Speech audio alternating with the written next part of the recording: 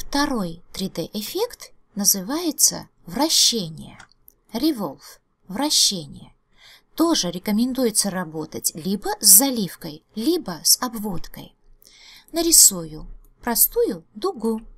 Дуга только с обводкой.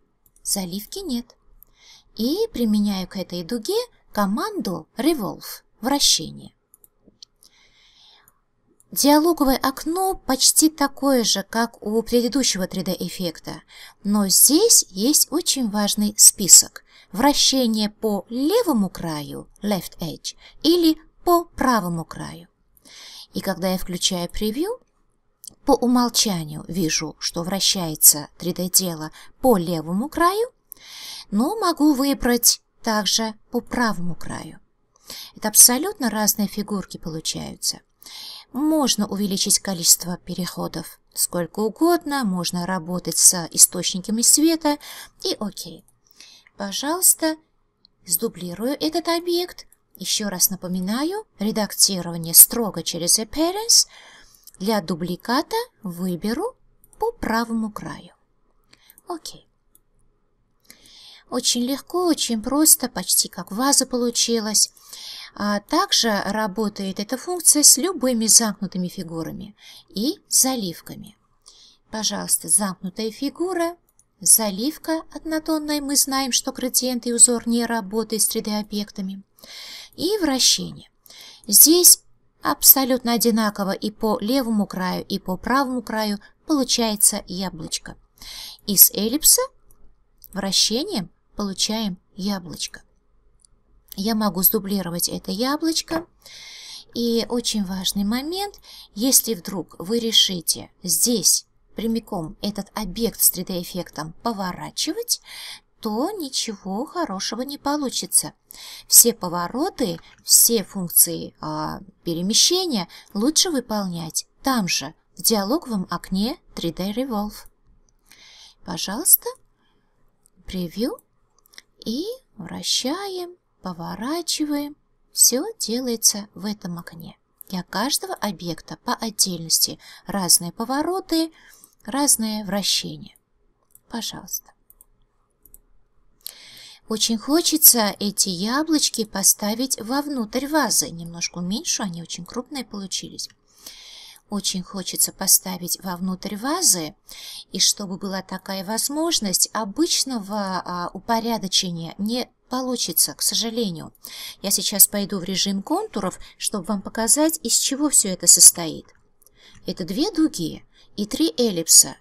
Нечего, как говорится, упорядочить.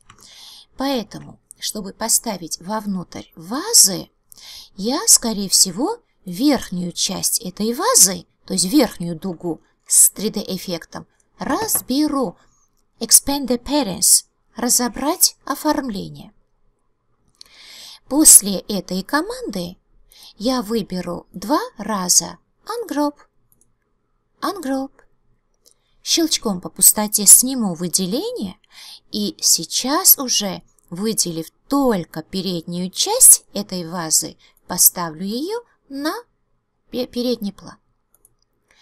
И, пожалуйста, яблочки уже оказываются там, внутри этой вазы. Вот почти натюрморт. Хочется еще что-то нарисовать, а, пожалуйста, все это возможно.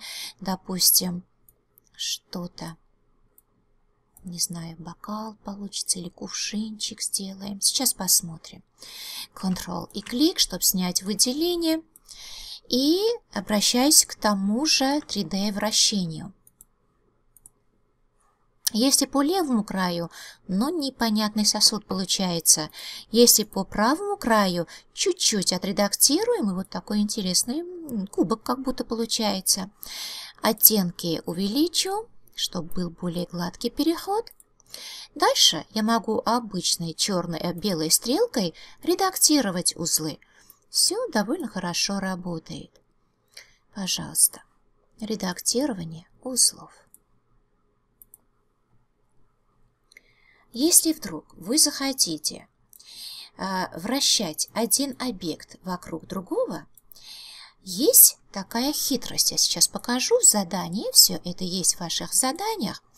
А, есть такая хитрость, случайно обнаруженная. А, и мы сейчас попытаемся это делать. По-моему, этот файлик такие функции имеет. Вот, пожалуйста, хотя бы вот этот вариант возьмем. Чтобы вращать один объект вокруг другого, нам надо их сгруппировать. Без группирования у каждого объекта своя ось. Когда мы группируем, у них как э, общая ось как будто получается. Ну, например, такую вот планету. Как получить? Строго. Только заливка принимает участие, обводки нет. Можем оставить половинку с помощью ножниц. Другую половинку удалю. Со стороны животика, скажем так, я нарисую прямоугольник с небольшим интервалом. С небольшим интервалом а стараемся наложение, чтобы не было. Можно впритык, можно с небольшим интервалом. Строго-настрого мы их группируем без этой команды, дальше процесс не пойдет. И уже к группе применяем 3D вращение. Конечно же, по правому краю. Окей. Это группа.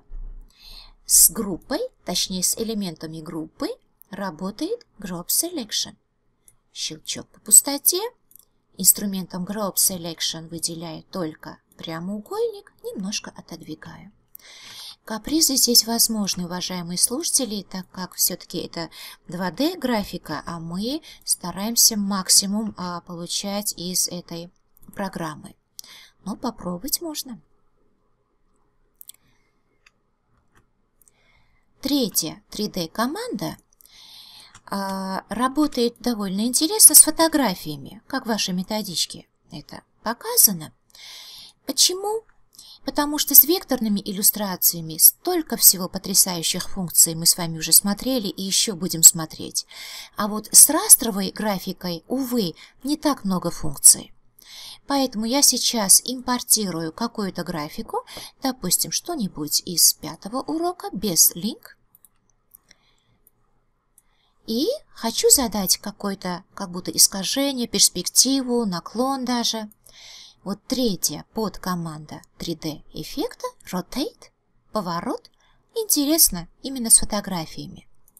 Простейшее окно, здесь особого выбора нет. Просто мы задаем любую перспективу. При необходимости чуть-чуть можно повернуть по вертикальной или горизонтальной оси. И все это на самом деле интересно только с растровой графикой. Три команды 3D. Работайте с удовольствием.